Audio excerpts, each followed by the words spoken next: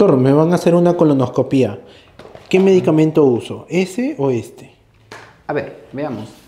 Aquí tienes un medicamento que es el polietilenglicol solo y el polietilenglicol con electrolitos.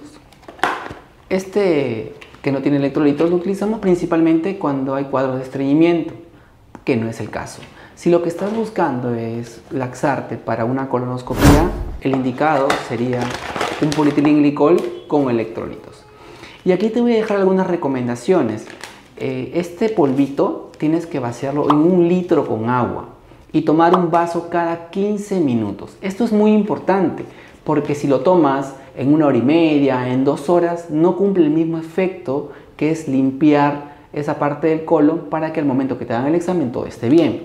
Recuerda que son cuatro sobres y hay distintas formas de poder tomarlos y horarios. Eso ya te lo van a decir al momento que te den la preparación.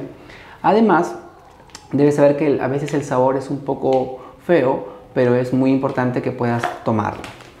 Y a veces se puede agregar bisacodilo o simeticona en la preparación.